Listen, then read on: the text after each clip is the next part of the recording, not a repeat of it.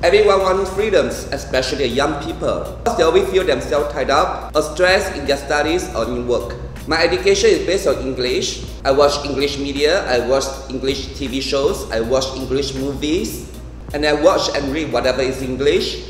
The impression that Tsai Ing-wen gave me that time was that she was a very loyal and very patriotic person doing a lot of things for her country. She was like a fighter or something like Wonder Woman, fighting for freedom and fighting for democracy, fighting for human rights.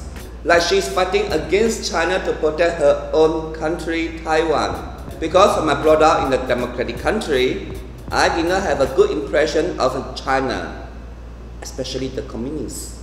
However, if you could go deeper in reality, she is just a deceiver, a wolf in sheep clothing, always using freedom, democracy, human rights as one of the reasons to keep her authority, and that is truly a fake hero.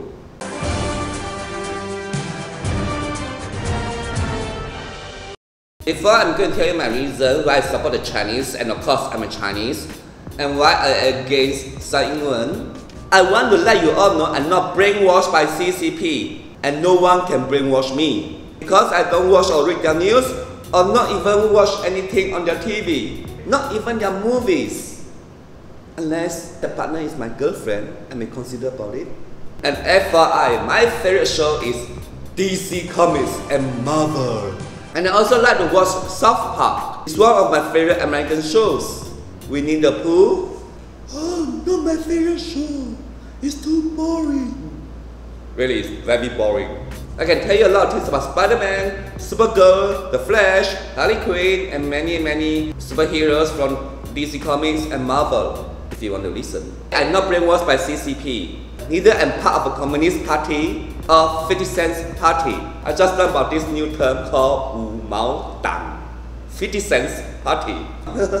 Firstly, I want to let you know, is democracy very important? Look at Singapore. Uh, uh, uh, Mr. Lee Hsien Loong. Although Singapore is a democratic country, I've been complaining a lot of things about Singapore because the government does not give people a lot of human rights and also freedom.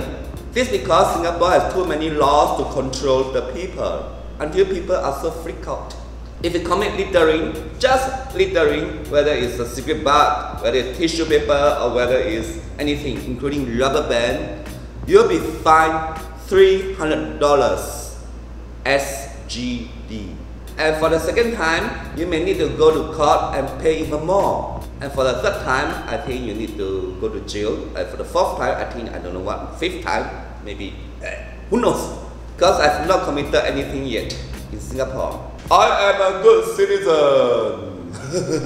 okay, in Japan, because of their weird and crazy culture, when you're in the bus, on the train, or in some public places, I mean, if you speak, people will stare at you strangely. However, it doesn't matter in Singapore at all. I'm in Japan, I'm happy lah, not free lah. How to do it lah? Cannot lah, this way no good lah. What I'm trying to say is that different countries has their own kind of freedom. Unless you want to stay in a deserted island where no one will care about you. Put a simple way to describe freedom, it's just like marriage. If you're married, you will lose your freedom. And different marriage will give you different kind of freedom. Therefore, whether country is freedom or democratic is not important, especially when we are facing a crisis. Always Tsai Ing-wen doesn't want to care. Even is Taiwan gonna doom. Moreover, do you think the people in Taiwan really have freedom? I mean, true freedom that the people can enjoy in Taiwan, even though we are still free to talk about politics and other things else.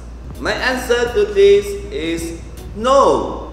The reason is Tsai Ing-wen had destroyed the true meaning and the basic ingredient in freedom.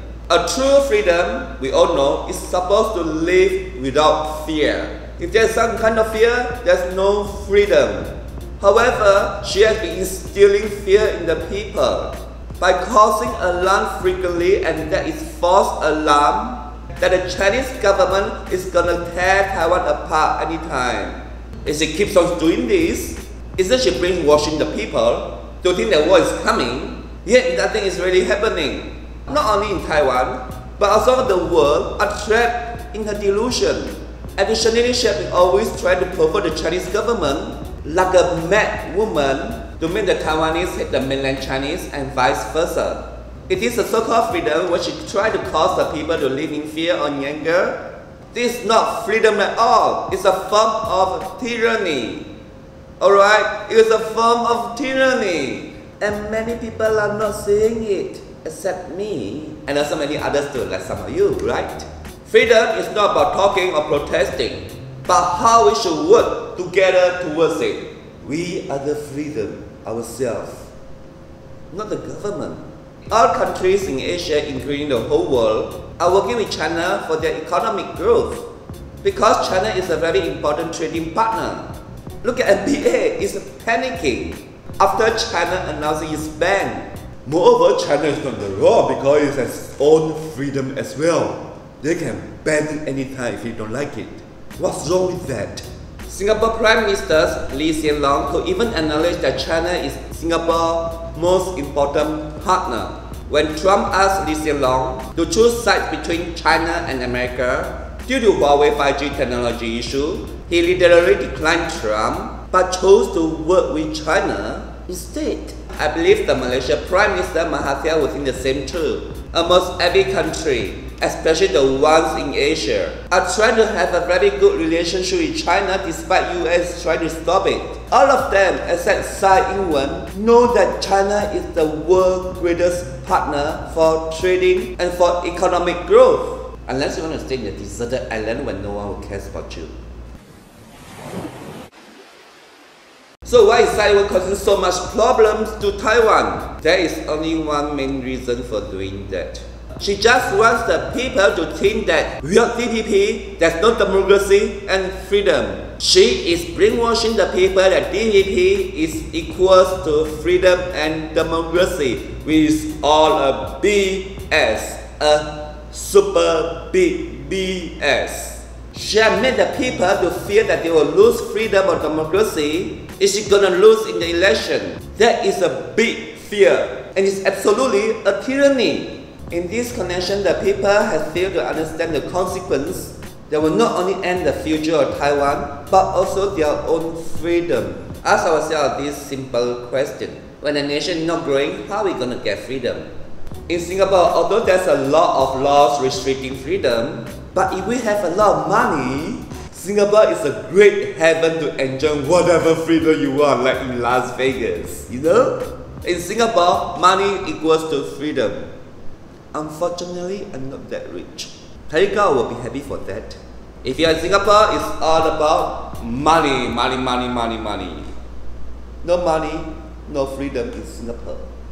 My main point is if you're still struggling in life, trying to have a good income, or trying to be rich, we shouldn't talk about freedom, but money. Unless you want to live in a deserted land where no one will care about you. So what's wrong in building a good relationship with mainland China if it could help Taiwan prosper? Is it because China is a communist country? Democracy is not suitable for everyone because all kinds of political systems have their flaws. Moreover, Singapore is not a fully democratic country, even for Japan. Whatever system the country has is not important as long as the people could live without worrying about tomorrow. I live in China for about a few years, but still I don't watch their progress or anything, and I watch YouTube in China. I've seen many people in China are progressing. FYI, I don't suck up to the Chinese government. And it also doesn't mean I'm a communist, just because I may be praising China. Some of my friends really have been saying I'm a communist because I've been going against Tsai Ing-wen or Joshua Wong. That is very childish. I believe many people who think like me are in the same situation like me too. Because of peer pressure, especially the young ones, many people are afraid to be marked as communists. If they don't support anything that is democratic, including DPP, if they support Han Kuo-yu, people may think that they are old-fashioned or even a communist. They think it's evil. They are worried they will be out of the circle of friends more than concerning the future of Taiwan. Therefore, the people supporting democratic of DPP are now become very narrow-minded and very short-sighted. Because the election is very important for DPP to stay in power, Tsai Ing-wen won't care much about where Taiwan is heading to in the future. In order to win votes, Tsai Ing-wen is ruthlessly making use of the weakness in the people, which is fear of losing democracy and freedom. Hence, many Taiwanese are being held hostages by DPP until they feel that freedom is the most important thing in their life that causes them not to see what Taiwan will really become. They are misled by fake democracy and fake freedom. Unless you want to stay in a deserted island. So being clueless, they could only embrace and trust DPP blindly, while we are seeing mainland China progressing rapidly. DPP had caused the people to see mainland China is Taiwan's number one enemy, but the US and Japan are Taiwan's number one friends. Additionally, being influenced by the American media and also Japanese weird culture, many people in Taiwan have been prioritizing that freedom and civilization are the most important. However, DPP has never talked about how prosperous the mainland China is, that Taiwanese should learn to improve their own standard of living. Worst of all, some Taiwanese are still having the mindset that the US and Japan are more advanced than the mainland China. In reality, Beijing, Shanghai, Guangzhou, and many parts of China are modern and advanced in technology, buildings and transportation, and many other things. Even the clothes the mainland Chinese are wearing are very fashionable. Hip, rare, fat. Hence, Taiwan will only be in crisis if there's still no ratification done for the cross-strait relation. To be honest, I feel myself having more freedom and advance living in China than in Singapore. Firstly, we know that no one is using cash anymore in China. Nearly no one. They are using the mobiles to buy all kind of things, even in the countryside of China. Secondly, China has already developed 5G technology and also other advanced things. And now they are researching on 6G. A lot of nations are accepting what China is doing. Thirdly, the girls in China are getting more beautiful. And the men, of course, getting more handsome. Because of the way they are wearing nowadays. They are not country punkings anymore like what many people are still thinking. Lastly, freedom. There's a lot of freedom in China without worrying about how people think of you. Believe it or not, I could even talk about China politics anytime over there. And I could even say how bad the Chinese government was with my friends together. And they listen to me because they know nothing is perfect in this world. In fact, I found there are a lot open-minded than many foreigners. Based on my experience living there for a long time, the mainland Chinese, they are very different from the past. When I was at the airport, there was an immigration officer being very flexible in the way of handling things for me. Even though my stay in China has expired for one day, she literally allowed me to go to my flight without delaying my time. There was one day when the bike hit me on the road in the countryside. The rider did not run away, but he brought me to the nearest clinic for treatment. At the same time, he even offered to compensate me with some money. In what way could we say they are not civilized or advanced?